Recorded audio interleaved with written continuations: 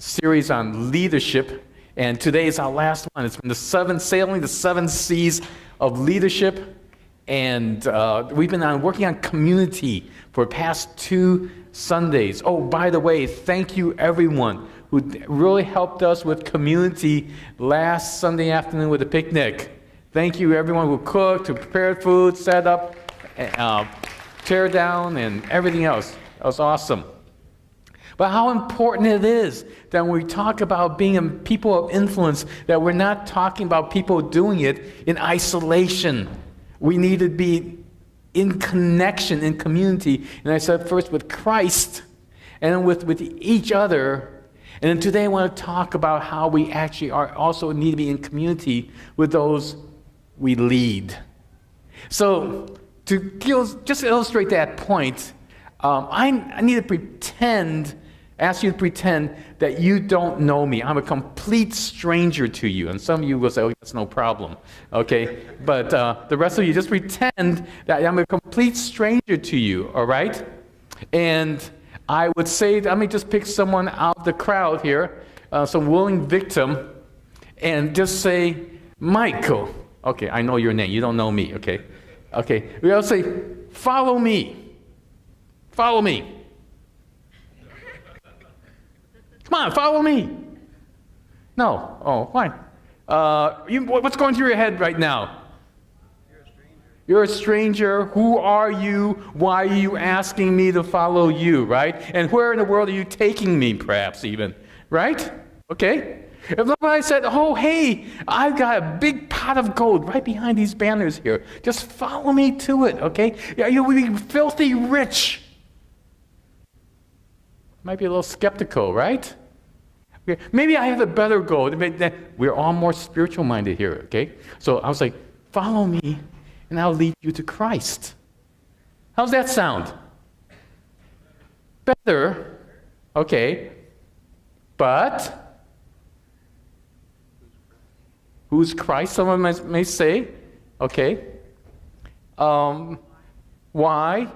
Okay, and, and some of us who, you know, a little aware of stuff in, in this spiritual, religious realm go like, okay, are you a cult?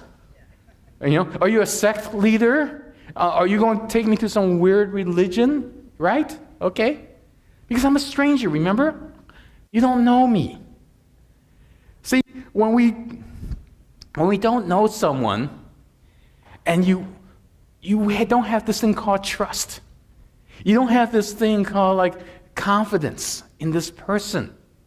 And if not only the goal is important, but who that person leading you to that goal is very important, right?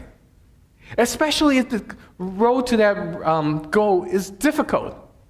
So let's say, Ron, okay, I can lead you to Christ, but this is what you got to do. You have to follow me exactly as I do.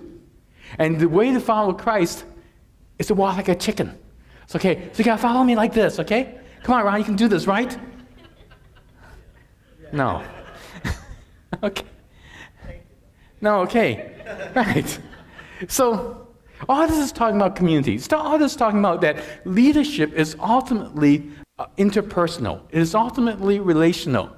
You can't lead through just texting, you can't lead through a message or email. Um, even though social media is great in being, Uh, broadening your influence, deepening your influence comes by people knowing you, you knowing them, and ultimately, as we see, by Christ's own example of leadership. And that's what we're going to go to today.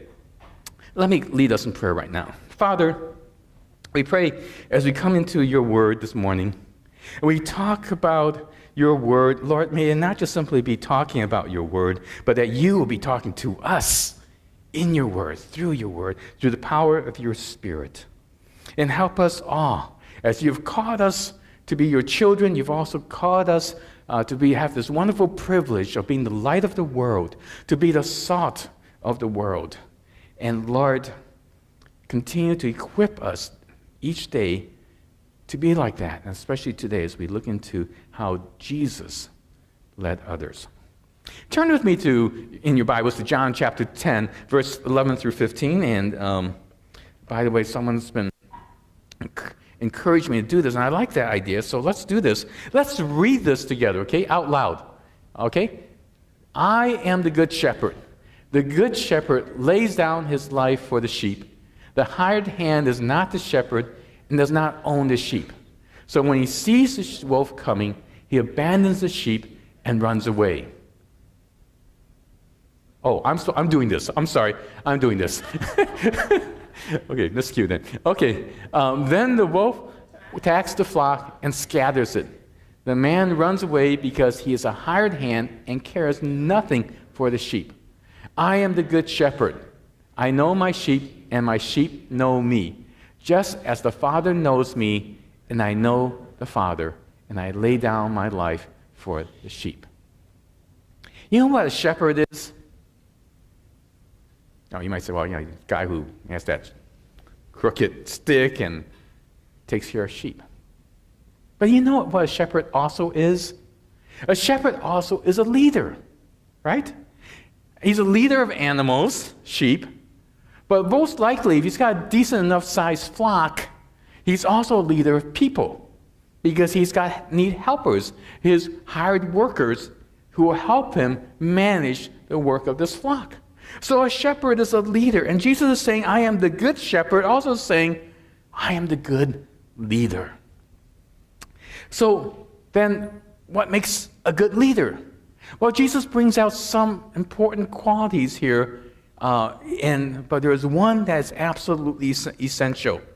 Verse 12 and 13 says that the good shepherd isn't going to be like the hired hands who run away at the first sign of danger. He's going to be there to defend his sheep. So, one of the qualities is that he's a defender of his sheep. And the Lord Jesus Christ is our good shepherd because he's also our shield and our defender, right? He is our rock, he is our fortress. So he is, um, he is that good shepherd. Jesus also points out in verse 14 that he says the good shepherd knows his sheep. If you look back earlier in the verse, in the chapter, in verse 3, uh, he says that the shepherd calls his sheep by name. Now, let me ask you. I'll show you this picture of some sheep here. And if I told you one of them was named Larry, and then I mixed them up a little bit, could you tell who Larry is? No. How about if one of these was called Larry and Moe and Curly? Okay? And I threw them into the mix here and put them in a bigger flock. Or even put them in a, this flock. Could you tell? No, I couldn't. I look at this like, these look like clones. They all look alike. But Jesus says that the shepherd calls his sheep by, by name and that the good shepherd knows his sheep. Jesus is our good shepherd because he doesn't lose any of us in the crowd. You know? He doesn't forget any of us and say, well, the one of the masses. He knows us individually. But the most important thing, oh, I almost skip one more thing. Um, let me pause that for a moment say, he also says his sheep know him. His sheep know him. So let's try playing that video here and, uh, and see what that means.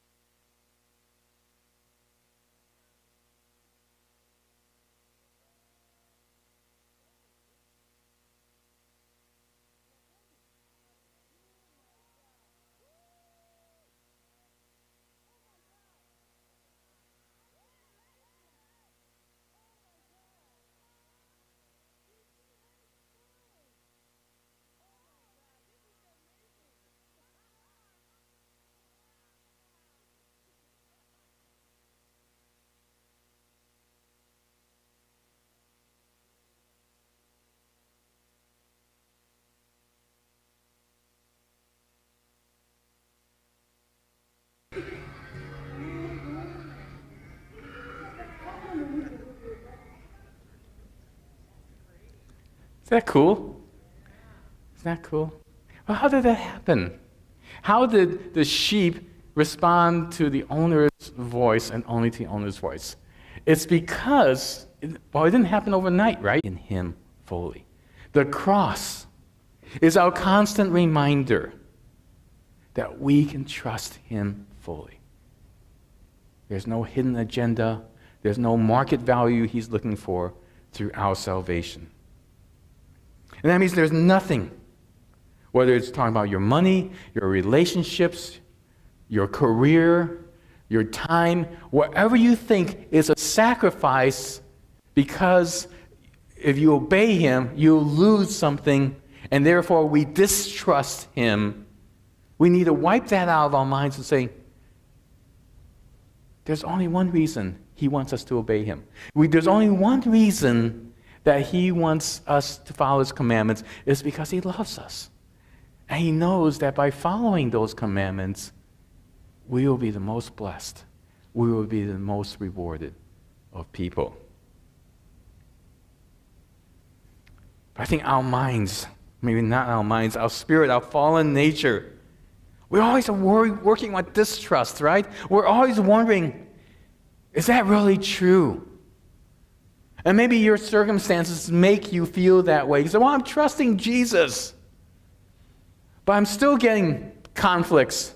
I'm still getting stressed out. I'm still having pressures. I'm still having fears and worries, and people don't like me. I still feel lonely or I feel depressed. And we can go on and say, well, if Jesus is this good shepherd, what point is it that, where is he protecting me? You know, why should I be trusting him if I'm still going through all of this? What, make, what difference does it make?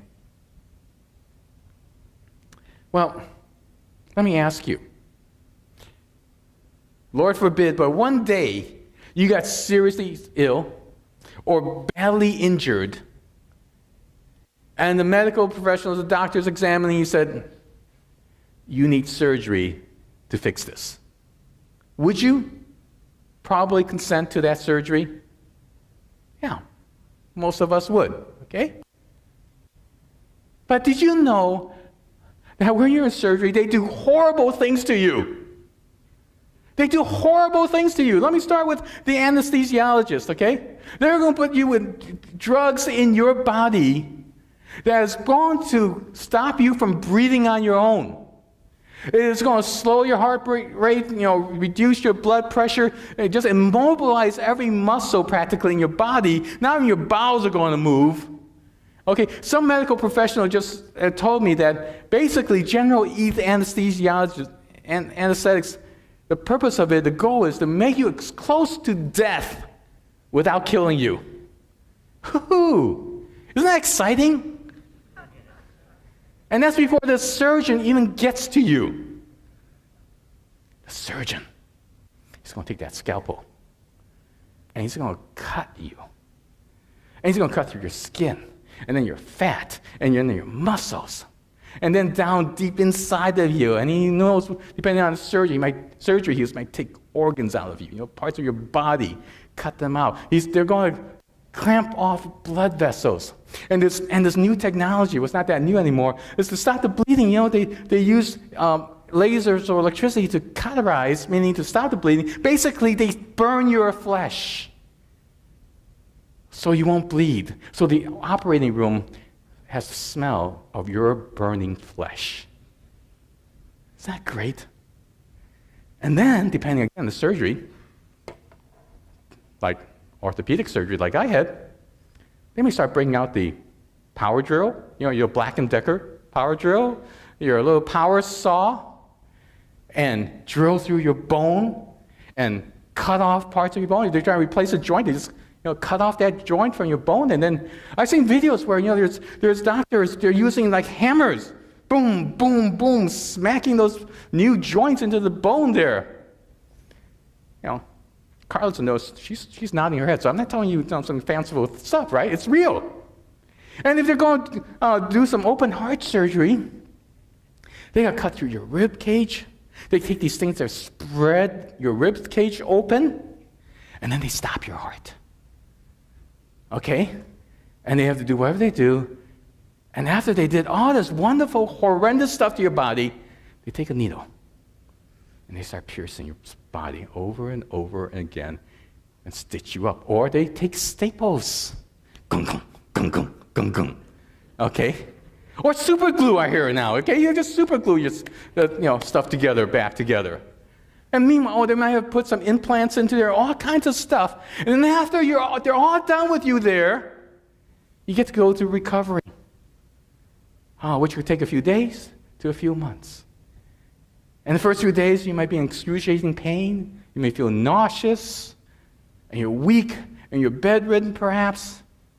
And then you have to go through physical therapy, perhaps. And stretch you and make you walk when you don't want to walk, and, and you're teetering down. At first, you thought you were completely normal. After surgery, you're a wreck. Okay? And then you're going to do that for days and weeks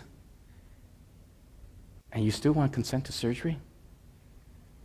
Now of you go, no, no, I'm not going to do this anymore. Okay, no, but you still would, wouldn't you? Right? Why? Why would you still consent to that, knowing now all that you would go through? Because A, you believe that that surgery is going to heal uh, your illness or fix a broken bone or something. And secondly, because you trust those doctors. You trust that anesthesiologist. You trust that surgeon. You trust those nurses. You trust the physical therapist. You trust all those people that's in this process. So you're willing to go through all this horrendous stuff to your body, right? Let me change the metaphor here of the good, doc- good shepherd to Jesus, the good doctor. Jesus is the good doctor, the good anesthesiologist, the good surgeon, the good nurse, the good physical therapist. And all those painful things that we complain about the stress, the pressure, the loneliness, the rejection all those other things are like that scalpel cut. It's like that cutting through a bone, pinching off a blood vessel like stitching a suture. Yes, they're painful. Yes, they even will leave a scar. And yes, it may take days, weeks, even months to recover. And yes, you may not be the same as you were before. But our good doctor, our good surgeon, our good anesthesiologist is using all those things to heal us to remove an infection, to remove a cancer, to realign something in our lives that was broken, to put an implant in us that will keep us healthier and alive longer and ultimately for all eternity. See, we can trust the Lord because He's the Good Shepherd. And He lays down His life for us. And all those other things that we think are evidence that he's not that good is ultimately tools that he's using to strengthen, build us up, and equip us for the future. That's why the Apostle Paul says in Romans 8 35 to 39 this. Let's, uh, let's read this. Who shall separate us from the love of Christ? Shall trouble or hardship or persecution or famine or nakedness or danger or sword? As it is written, For your sake we face death all day long. We are considered as sheep to be slaughtered. No, in all these things we are more than conquerors through him who loves us. For I am convinced that neither death nor life, neither angels nor demons, neither the present nor the future, nor any powers, neither height nor depth, nor anything else in all creation will be able to separate us from the love of God that is in Christ Jesus our Lord. That is your confidence. That is my confidence. That is our confidence. And we talk about nothing separates from the love of Christ. It's not just a sentimental love, it is the powerful, almighty, gracious love of Christ that's come to save us, come to continue to heal us, come to ultimately to bless us. That's why you can trust. That's why you can trust Christ. In that last video, it's really endearing. You see all the sheep coming to the shepherd, and there's just this innocence. There's just this innocence um, and eagerness to just be with the shepherd. They trusted the shepherd. And we need to be like those sheep, trusting him every moment and just enjoying being in his presence. What I'm going to do here is invite you right now um, to come to Christ's presence in communion, to just confess again, as Chris led us, that we are fully committed to Him, that we have decided to follow Jesus, and there's no turning back. But it's okay. It's not just okay, it's awesome, it is great. I invite you also during this time, as you come here, that maybe you came here with doubts.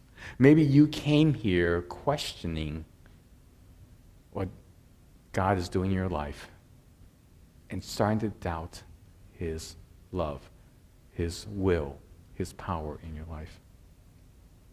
Take this time right now to come back to the shepherd and say, I trust you. I know you are able I know you're able to do exceedingly above and beyond anything that I can imagine. Chris, could you lead us in that uh, next song and how we do it in, in GC2 is we just invite if anyone who has accepted Jesus Christ as the Lord and Savior, has a relationship with Him, to come to one of these tables, which are two here and one in the back, and take a piece of bread and take a cup. And remember that the bread represents the body of Christ, which is broken for us, and the cup, which represents the blood of Christ. And both together represent this good shepherd who laid down his life for us for no other reason except because he loves you, me, and all sinners. And we can trust him and take this cup in celebration, but also in faith, and saying, I trust you, Lord. I trust your love.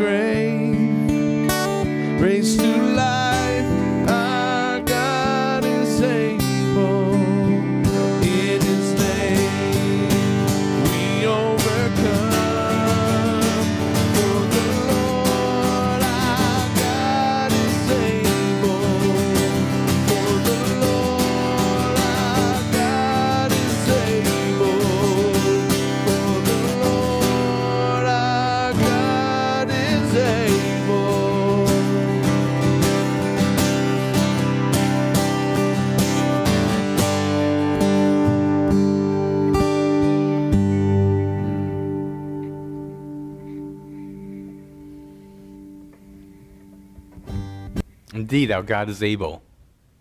He has saved us, saved us from our sins, saved us from hell.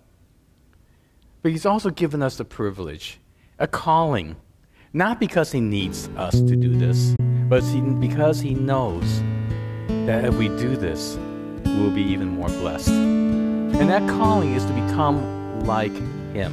And that's one of the reasons we have um, belong, become, believe. That one of the important goals of becoming, of believing in Christ, is to become like Him. And that includes shepherding others. Let's read this together, okay? Um, and let's read it together, not this mumbled, okay? let's really read this together, okay? To the elders among you, I appeal as a fellow elder and a witness of Christ's suffering, who also will share in the glory to be revealed. Be shepherds of God's flock that is under your care, watching over them, not because you must, but because you are willing, as God wants you to be, not pursuing dishonest gain, but eager to serve, not lording it over those entrusted to you, but being examples to the flock. And when the chief shepherd appears, you will receive the crown of glory that will never fade away. In the solemn pledge or charge, uh, the Apostle Peter gives to the elders, the leaders of the church that he's writing to, he charges them to be good leaders. But he doesn't say, be great CEOs, managers. He doesn't say, even from the family analogy, be great fathers or brothers or sisters of the church. He says, be shepherds. Be shepherds of the flock, just like Jesus, who is the chief shepherd. We come to Jesus to become like Jesus. So I want to leave you with an exhortation, a challenge as well. As we have received the love of Christ, we have the opportunity to reflect that love to everyone around us. And as we have enjoyed being shepherded by the Good Shepherd, we also have the opportunity to shepherd others. And though this passage is about church leaders shepherding a church, it really can apply to every one of us, whether we're young or old, because all of us have given, been given a flock to take care of. Some of us are parents, and there is your flock, your children. Some of us are in areas of management and leadership in work. That is your flock. Some of you are teachers, whether here at GC2 or somewhere outside of GC2. Your students is your flock. And even if you're in junior high, you have a flock. You have siblings, brothers and sisters in your family. You have friends. You have classmates. You have people that God has placed in your circle of influence. And God is calling you to also shepherd them. Shepherd them. And what does that mean? Well, right straight from what we just learned from the Good Shepherd, the most important question you ask yourself, I ask of you, is do you love these people that God has placed under your care? Do you love them as unconditionally as Christ loves us? Or do you love them with some kind of agenda, like if I do this for them, I expect them to be nice to me, or come give me something in return? How unconditional is your love? how you might say, Oh, I have no problem with my f- kids, my family. Sure, I do that. But let's remove that a little bit further. How about those who are in your workplace? How about those rambunctious kids in your class that don't listen to you? Um, or back down to your, your junior hires. How about your siblings, your sisters, your brothers, your friends? Are you your, their friend because you're hoping they will be your friend in return and they'll be nice to you too? Or is it unconditional love? A love that does not expect something in return. And you love them, and you say you do, then also be like Jesus and know them. Know them. You know how you know someone? How does a shepherd knows a sheep? He spends lots of time with them. I mean, we can't tell to distinguish between one sheep from another because they all look the same, right? But if a shepherd spends enough time with each one of the sheep, goes, oh, this one's got a little longer ears, or this one's a little shorter, and this one's eyes are a little closer than the other eyes, and this one's a little yellow instead of white and gray, and you, they start picking up the nuances, right? Okay, I know which one's Larry, Curly, and Moe, okay? And you and I, we love someone. We also need to spend that time with them and to get to know them, their nuances, their personality, their strengths, their weaknesses, even in the workplace. Because by doing that, you also know how they best fit in the organization. But thirdly, and last challenge is reward and bless those under your care. You know, the last verse here, verse 4, says, talking about the elders, he says, And when the chief shepherd appears, when Christ returns, you will receive the crown of glory that will never fade away. The good shepherd rewards, the good shepherd blesses those he loves. And he here, he's saying, you know, you will be blessed by him, by Christ himself, with this this crown of glory. You don't know what it is, but I'm, going to be, I'm sure it's going to be awesome. So reward and bless those under your care. You say, wow, does that work in the office? You know, it sure does. I was reading up last year about Aetna. You may have all heard of it. It's a big insurance company, right? Well, in 2015, they raised their minimum wage to $16 per hour across the board.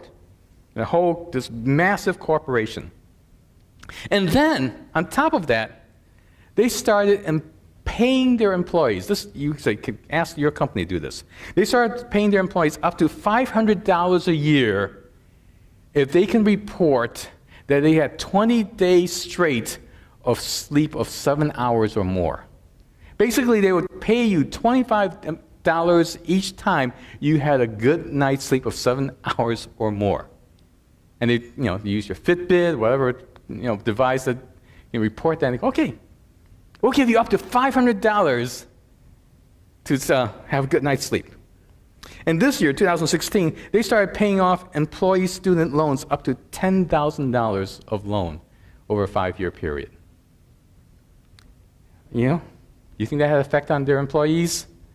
Oh, yeah. And one of the web, um, you know, rating, you have these websites that say, hey, rate your employer, rate the company you work in. That gets four out of five. And consistently, they have comments from employees a great place to work. They help me grow.